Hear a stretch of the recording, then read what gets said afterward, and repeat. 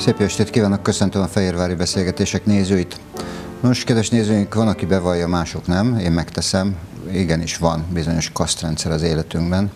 Most ennek ö, betétbeszélgetését fogják hallani. Vendégem Törsök Márta, szeretettel köszöntöm.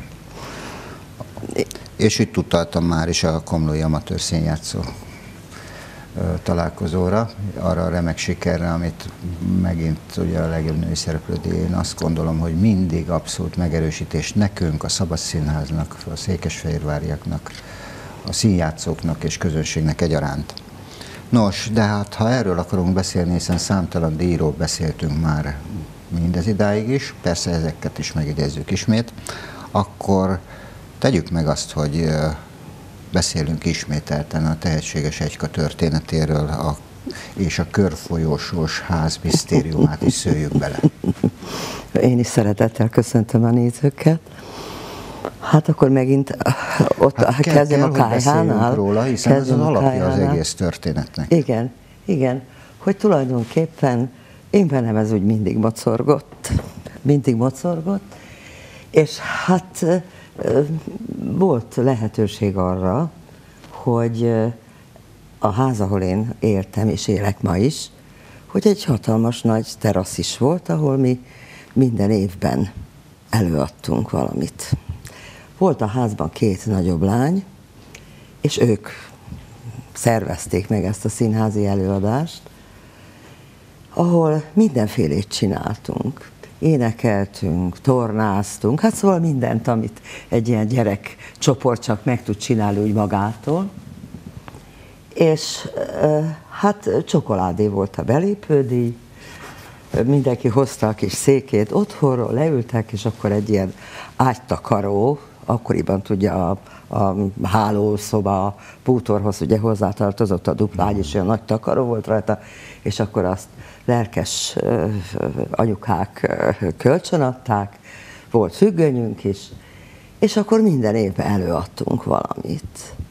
Kreppapírból, ebből, abból csináltunk jelmezeket magunknak, és akkor hát ezek varázslatos jó dolgok voltak. Igen, tehát ez a kor volt a színház teremtő millió. Tulajdonképpen, a belváros igen. adta így van, magát, így van, a körfolyósok, igen, és igen. hát kellett némi tehetség, hogy felruháztassék az ifjú hölgy, illetve a hölgyek egyik oldalról, a másik oldalról pedig elszántnak kellett lenni azért.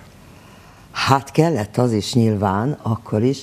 Na most ugye azt a későbbiek folyamán azért az elszántságom az időnként úgy, úgy elpihent, mert volt, ami úgy a kedvemet szekte. És azt úgy, hogy mondjam, egy kis időre úgy visszavetett. De nem baj az. Nem Tehát baj, persze. Én azt gondolom, hogy néha-néha át kell gondolni az ember fiának, hogy mit tett jól, mit nem, hogy tudjon terveket szőni, és ráadásul azok, ha, ha megfelelőek, akkor nyilván meg is valósítja igen, őket. Igen, na pontosan erről van szó, hogy az ember, mikor már idősebb, akkor bölcsebb is, ugye, és azt mondja, hogy az élet keservei vagy csapásai, azok milyen jó, hogy úgy történtek akkor biztos nehéz elviselni, de én ma azt mondom, hogy ha úgy alakult volna a sorsom, hogy én hivatásszerűen űzöm a színészmesterséget, akkor biztos nem megyek férjhez.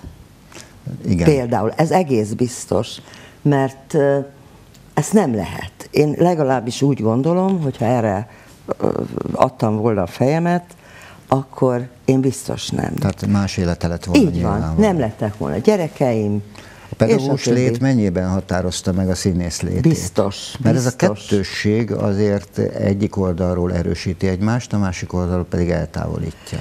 Igen, igen. Hát azért ugye annak idején, amikor itt az ember álmokat szőtt, hogy mi is szeretne lenni, hát ugye a, a színésznőség volt a, az első, amiről ugye ábrándoztam, aztán akartam volna jogász lenni, aztán akartam pedagógus lenni, És akkor utóbb ez is úgy, úgy, úgy összeállt, hogy ez mindegy ilyen beszélős foglalkozás. De azért mindig Mind... gondoljunk arra, hogyha ha minden olyan gyönyörűséges és szép lett volna a világ életünkben, akkor például Igen. nem lett volna Májton fél élet.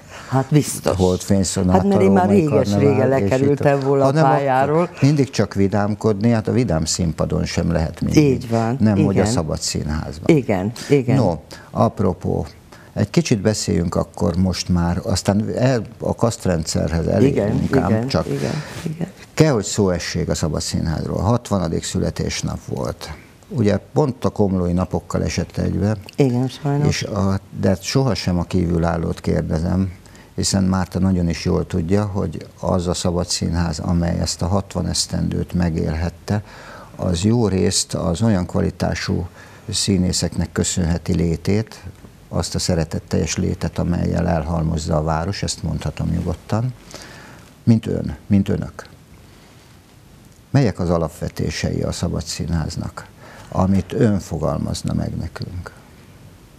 Hát ugye először is ezt nem én találtam ki, hogy ez egy, a nevében is ugye egy szabad színház, ahol szabad mindenfélét játszani, ahol szabad öregnek és fiatalnak együtt játszani, ahol lehet utcai komédiát is, de lehet fél életet is játszani. Igen. Tehát, és a másik, hogy tulajdonképpen nem csak egy dolg, az, azokat a dolgokat lehet játszani, hanem akik művelik ezt, ők is szabadon járkálhatnak át egyik játékstílusból a másikba, a drámából a, a komédiába, és azért ez egy nagy szabadság. Igen, ez a karakterek szentsége. Igen. Én azt gondolom, mert hogy, hogy valóban egyszerűen ugye nem lubickolhat valaki mindig egyfajta szerepkörben, egyfajta karakterben, Igen. hanem egyszerűen feltétlenül szükség van rá egy másik darabban, amit esetleg nem kedvel. De hát ez már a színészlét, ez már így van. Most az a helyzet, hogy én magam például nagyon vágyódnék valami jó, bővérű, vidám ö, szerepre, de hát erről nem én tehetek, hogy ilyen elaggott színésznőknek, vagy hát nem nevezem én magam színésznőnek, de hát így van, hogy az idős, az idős színésznőknek nincs szerep. Vagy meg akarnak mindig halni, meg is halnak, de nincs egy, egy vidám, szóval, vagy legalábbis én nem tudok róla. De hát Márta, Törsök Mártának hívják, tehát bármely szerepet eljátszhat, és azért van ebben a színházi irodalomban nyilván olyan... Hát van, van, de hát azért én úgy gondolom, hogy... Félreértés ne essék, szívesen hallom ám a panasz szót. De nem panasz, ez nem panasz, csak az, hogy, hogy vagy nem találtunk még olyat, amiben a, az én korom, az én Szóval boldog örömmel játszanék ilyesmit. Na most a Gorziumban például volt erre lehetőség, Igen. mint Persephone mama, ugye, hogy ott volt erre lehetőség, mert na, az nagyon jó volt. Jó, nagyon hát jól éreztem magam. Tényleg, melyek a, azok a szerepek, amelyek megtalálták úgy, hogy azt az Isten is Mártának teremtette? Hát ugye ez a bizonyos holdfény szonáta. Mindenképpen igen, azt nem hagyhatjuk. Az igen, hogy az engem mondhatni, hogy évtizedekig kísért, míg nem aztán egyszer csak úgy adódott egy lehetőség, hogy egy verses műsort szerettünk volna csinálni, ami hát a, nem csak a szerelemről szól, hanem mindenféle olyan érzelemről, ami két embert összeköthet, barátságról is, mm. mindenféléről. És hát úgy volt eredetileg, hogy ez lesz a keret, a Oltvén szonáta. És akkor egyszer, hát el nem mondhatom, hogy micsoda érzések támadtak bennem, hogy én ezt nem adom. Hogy nem engedem föl trancsírozni, hanem, hanem ennek egybe kell maradni. Hát 1964-ben vagy 65-ben került a kezembe a kötet. Igen. És hát meg is tanultam akkor belőle egy részt, és az az érdekes, hogy én a mai napig ugyanúgy érzem, mint akkor. Hát nem tudom, lehet, hogy koravén voltam, vagy nem tudom, Pedig de... eltelt fél évszázad. Hát ne is emlegessük. El, el, igen. Tehát az álszentség Igen. helyett mondom. Persze, a, persze, Tehát fél évszázad. De mennyit változott a gondolatsor, amikor a Holdfény szonáta szerepére gondol? Hiszen mi láttuk, ez óriási siker volt díjakkal övezve, erről is Igen. nyilván kell, hogy szó essék. De egy, egy abszolút kiérlet csodát láthattunk a színpadon. Mi kell ehhez egyébként? Hát én magam is elgondolkodom sokszor, hogy, hogy mi az a, az az erő, ami előhoz belőlem olyan érzelmeket, amiket tulajdonképpen nem is éltem át. Mert ez erőt nagyon helyesen Hogy- fogalmazta meg. Én kívülállóként azt láttam, hogy ez teljesen az öné ez a darab. Igen. Minden erejével, minden adott esetben gyengeségével, gyengétségével, de egy az egyben, tehát törsök, olyan törsök Mártát láttam, hogy ezt mással nem tudom elképzelni. Hát egyszerűen nem, én is sokat gondolkodom ezen, mint mondtam, de egyszerűen nem tudom, megragad a szöveg. Tehát a kezembe kerül valami, és olvasom, és akkor egyszer csak úgy, úgy, úgy elkezd bennem úgy, úgy, úgy élni. Azzal együtt, hogy közben azért nagyon nehezen születik meg. Szóval van itt azért egy kihordási idő, tehát nem úgy vagyok, hogy, hogy elolvasom, és akkor készen van. De az egy, az egy szentséges pillanat volt. Egy szent pillanat, a Holdfény szonáta. Biztos olyan lelki állapotban Mit gondolnak voltam. erről a társak? Nem tudom. Szoktak erről beszélgetni, hogy ki miként él meg egy karakter? Hát én egy, ha mondhatok ilyet, hogy én, én szerettek beszélgetni a szerepekről, de lehet, szóval nincs erre, nincs erre annyira mód. Kell változnia egyébként? Ugye itt nem a korról beszélek általában, hanem szerepről szerepre. Hiszen nyilvánvaló, hogy egy-egy szerep mélységét úgy lehet megtalálni, ha egyik oldalról beszélget vele, másik oldalon követi a rendezői elképzeléseket, harmadrészt hozzáteszi azt, amit abból a szerepből szeretne kihozni, és ő maga gondol. Igen, hát az a helyzet, ahogy mondtam az előbb, hogy, hogy, hogy, hogy elol, ugye megvan az olvasópróba, az ember elolvassa, én arra törekszem csak, hogy az ott jól értelmezhető felolvasás legyen. Utána jön az, hogy az ember elkezdi úgy építgetni, elkezdi elképzelni azt, hogy, hogy az az alak, az ö, milyen lehet. Milyen lehet. Én szeretem figyelni az embereket. Mindig is szerettem. De konkrét emberek soha nem jutnak az eszembe. Hanem, mondom, inkább egy érzet. Amit érzek, vagy, vagy elgondolom, hogy érezhet az a másik. Tehát a társakkal is megbeszélik. Hát igen, Viszont igen. fontos-e ma még, illetve még most is fontos-e a közönség? Hiszen a közönség reakciója, azok a gesztusok, az mindenképpen önmagáért beszél, akár előadás közben is, és nem a tapsra gondolok semmiképpen. Hát igen, a legfontosabb a közönség, de játszottam én már Holdfény szonátát is úgy, hogy ö, rossz, rosszul álltak a csillagok, és nem voltak sokan, és úgy gondolok vissza rá, mint életem egyik legjobb előadása. Mert engem mondjuk nem befolyásol, hogy hányan vannak a nézőtéren, de a közönségből árad valami. Tehát, mint minden közösségből, és hogyha egyfele tekintünk, ha, ha ugyanazt érzik, vagy ugyanaz, ugyanazok az érzelmek, vagy érzetek, vagy gondolatok támadnak föl bennük az én játékomra, vagy bárkinek a játékára, akkor, akkor ott, ott van egy nagy találkozás. Igen, hát a, a figyelem az mindig feszültségoldó, a feszült figyelem leginkább. Igen. Egy színházi közönség nagyon sokat tehet a színészért. Ez oda-vissza igen, ezt, egyéb iránt. igen, igen, hát erre mondják ugye a profik is, hogy van jó közönség, és van kevésbé jó. De erről aztán, hogy ki tehet, nyilván nem a néző, nem a, a, a színházi előadásban résztvevők, ennek rengeteg oka lehet, talán a, a színházzal foglalkozó pszichológusok. Egyéb iránt ez azért... a profi amatőr Igen. szóval szép lassan kikopik a köztudatból. Elmondom, hogy miért. Ugye most van itt a Fehérvár Média Centrum, mi is csatlakoztunk a Igen. Szegedi kezdeményezéshez, ahol a vidéki színházak,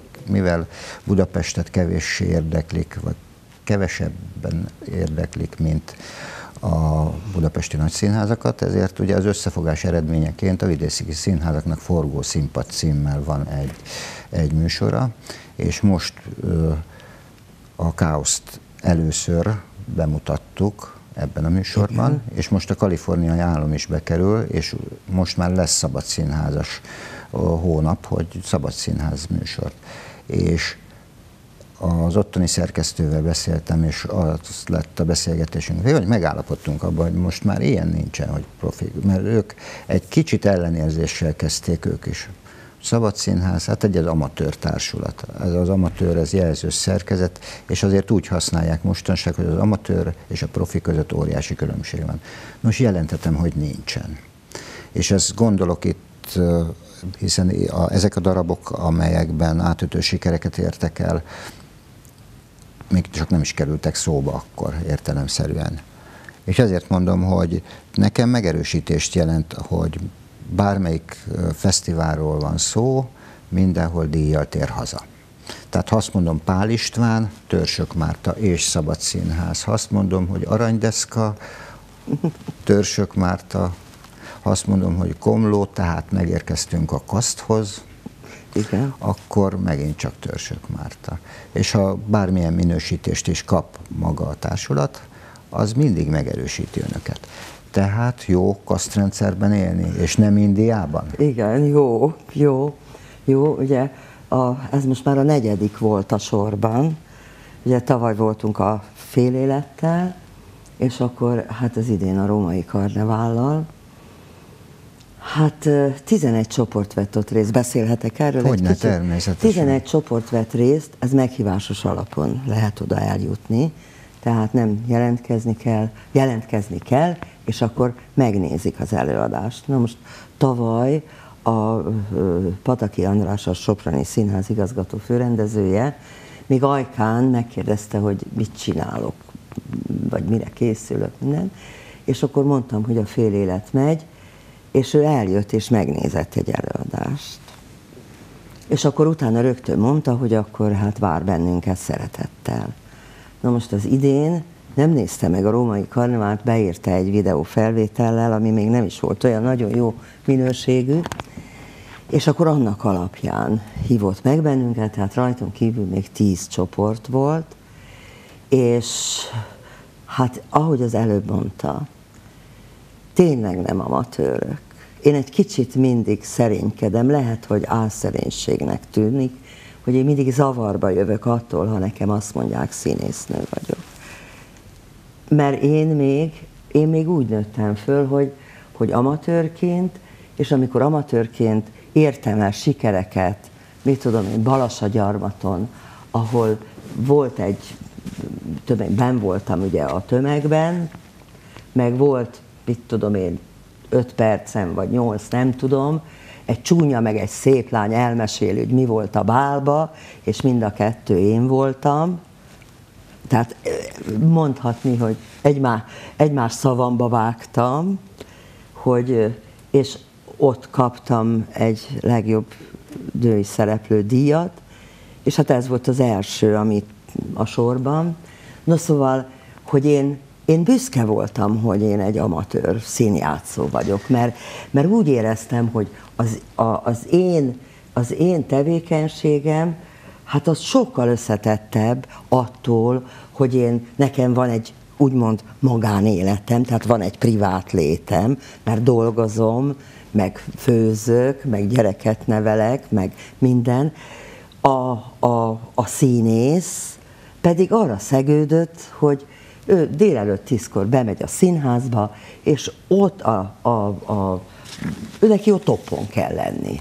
Ő neki ott Értem, mire kell gondol. Lenni. Igen. De ez furcsa kettőségem, mert nemrégiben beszélgettem Csíkszeredán Fülöp Zoli barátommal, Fülessel, aki a, a Csomortáni verstábornak is egyik alapembere, mint tanító, és azt mondja, hogy ő egy ideig mindig összehasonlította magát, mint Csíkszeredai Csíki játékszín színésze, mert karakterében ugyanazokat játszotta, mint Sinkovics Imre. Például vegyük Tevjét. Igen. És összehasonlította magát, és mindig rossz kedvű lett utána. És utána rájött egyszer csak, és ez a korral is jár egyéb iránt, hogy dehogy is, én Fülöp Zoltán vagyok tevje Csíkban, Igen. Sinkovics Imre nemzetiben tevje. Ennyi az egész, a kettőt Igen. nem kell összehasonlítani. Így azt mondom, hogy a Szabad Színház alkotó emberét, színésznőjét sem kell összehasonlítani, hogy mi zajlik a nemzetiben, a madácsban. Egyszerűen nem érdekes, meg nem, nincs is értelme. Most én, én nem ö, szoktam magamat hasonlítgatni senkihez amúgy, meg nem is keresem a lehetőséget, még ha adódott volna is, hogy megnézzek valakit. Tehát ez így igaz, hogy, hogy én, én vagyok mert azt úgy akkor csak is én tudom megcsinálni, vagy csak ak- akkor azt mi tudjuk megcsinálni. És hát, hogyha van visszajelzés a közönség részéről, meg egyebek, tehát egy hivatalos elismerés, akkor, akkor tényleg azt mondhatja az ember, hogy, hogy valamit, valamit tényleg jól csinál. Igen, ez jó út az önöké mindenképpen. Mire készül Márta? Hát most éppen semmifélére semmifélére, mert ugye a, el volt a, a színpad foglalva a kaliforniai álommal, meg a káosszal. Hát remélem, hogy a, az ősszel De lesz. van álma? Nincs, nincs, nincs, nincs, nincs mert, mert uh, uh,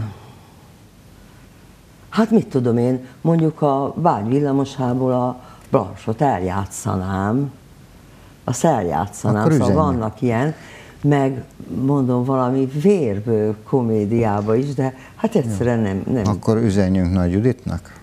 Hát nem tudom. Nem tudom. Azt mondták nekem a múltkor, hogy hát, hogy mindig ilyen tragikus figurákat játszom, hogy bár a római karneválban van azért, ott lehet azért egy kicsit mosolyogni időnként, vagy nevetni is akár, de hogy most így hirtelen, hát talán ez a Blanche, de úgy más nincs. Még annyit szeretnék, hogyha van hogy rá mód, hogy a római karnevál az azért is érdekes, mert ez két valós dologból lett összegyúrva, már a Húbai Miklós által. Az, az egyik az, hogy Lánszki Margit, egy éle, tehát a Margit, aki a főszereplője ennek, egy élő valóságos személy volt. A világháború előtt, a második világháború előtt ő egy népszerű színésznő volt. És akkor a háború után egy sajnálatos tévedés miatt egy ilyen hivatalos helyen azt írták be a színésznő helyett, hogy szövőnő, és volt egy koncepciós per az 50-es években, és előrángatták őt, le is csukták. Amikor visszakerült a színpadra, mint ugye nem kívánatos személy, páhogynyitogató nővé süllyedt, és hát bár bocsánat, elnézést kérek, de hát ahhoz képest ugye, hogy ő hol volt, és hát ez az alap a helyzet, ami ebben a darabban van, az innen ered. Hogy ő valóban úgy gondolta, hogy itt, itt ki kell vonulni az életből, mert, mert ezt ő már nem bírja. A másik, hogy volt egy Kruczkowski nevű lengyel szerző, akinek fantompróbát csináltak Budapesten az egyik nagy színházban.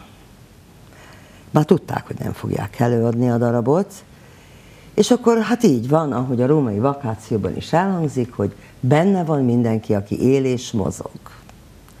És akkor megmutatták neki a próbát, megkapta a járandóságát, elment, és akkor ennyi. Tehát ebből a két az egyik eseményből és a másik történetből gyúrta össze Hubai ezt. Igen, egy remek darab. És hogy, Őre írta? Tessék? Őre írta részben? Hát én azt nem tudom, én azt nem tudom, azt tudom, hogy a Rutka Éva is Igen. játszotta, valami oknál fogva a Víg Színházban nem adhatta elő, és Vátszott. Ott fogadták be, ott játszotta. A Mezei Mária nem merte eljátszani. A, nem a, a szerep nagysága miatt, hanem ugye szegény, ő is azért a pálya szélére lett állítva, és érezte ő ezt akkor már, és nem akarta tovább fokozni itt a saját baját, és a Tolnai Klár is megcsinálta egy tévéjátékban. És valahol Békés Csabán, igen, nem valahol, hanem Békés Csabán is előadta egy színésznő, akinek most momentán nem jut eszembe neve. Kritikát olvastam arról az előadásról, hát nem dicsérték agyba főbe, hát azt nem tudom miért De ez láttam. egy ilyen darab. Viszont ön belebújt ebbe a bőrbe. Én bele, igen. Csodálatos volt. Most csak így visszaemlékeztem. Kis ilyen, ha nem lettünk volna, de becsuktam volna a szemem. Egyszer majd beszélünk erről hosszabban. Én nem tudom, hogy lesz-e még belőle. Lesz most hétfőn, június 11-én adjuk elő, fél nyolckor, de úgy tudom, már nincs jegy. Úgy Jó, hát tudom. hát azért majd valami történik. Persze, remélem, hogy... Ó, Márta, még egyszer gratulálok mindannyiunk nevében. Köszönöm, hogy mosolyog a szeme, köszönöm, hogy mosolygott velünk, köszönöm azt, hogy ezekkel is megerősíti a Szabad Színház létét, erejét, elhivatottságát, hiszen a díjak önmagukért beszélnek egyik oldalról, de ez a társulata is valamilyen szinten.